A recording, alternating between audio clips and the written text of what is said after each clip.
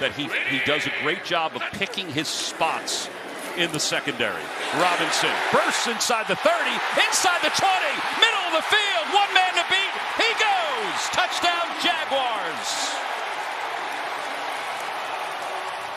37 yards. Those seas are going to part. I'm going to find that block.